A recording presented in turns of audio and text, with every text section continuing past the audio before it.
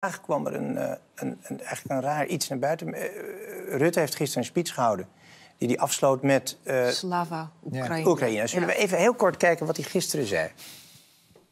Slava, Oekraïne. Nou, dat zei hij toch eigenlijk. ja, dat zei hij dus gisteren. En er kwam nu een bericht van de Russische ambassade in Den Haag op...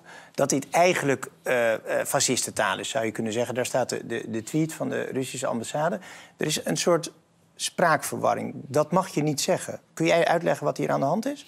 Ja, de, de, de propaganda van Rusland is... wij mogen Oekraïne invallen, want het is een, een stelletje nazi's... die bezig zijn met de genocide tegen ons volk. Dat deden ze al in de Tweede Wereldoorlog.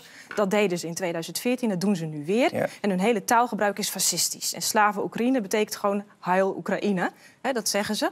En, en, als Rutte dat dus napraat, dan, ja. dan praat hij fascistische taal. Nou, dat is buitengewoon sterke psychologische oorlogsvoering. Dat is gewoon wat dit is. Dit is niet een tweet, het is psychologische oorlogsvoering. Maar is het, maar is het Door het alsof hij een soort zegt, zoals de NSB in de oorlog zei? Of is dat, nee, waar moet je dat mee Hij noemt het Zeleny, een Joodse president. Ja. Die, die, pro, die slaakt deze kreet steeds. En dat ja. betekent gewoon, he, de, de, hub Oekraïne, zet hem op Oekraïne. Oekraïne is groot, glorie voor Oekraïne.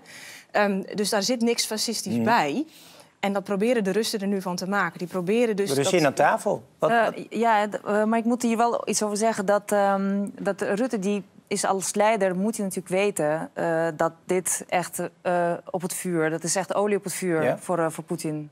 Want dit is zelfs verboden om in Rusland te zeggen. Het is de strijdkreet van Zelensky op dit moment. Zelensky, Zelensky ja. ja. dat is de strijdkreet van Zelensky. Maar goed, wij, wij zijn in Nederland en, en Rutte ik begrijp natuurlijk dat, hij, uh, dat Rutte ook steunt, uh, de Oekraïne steunt. Dat moet hij ook absoluut doen.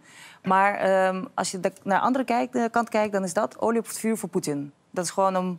Dat blijkt. Ja, ja. dat blijkt. En dat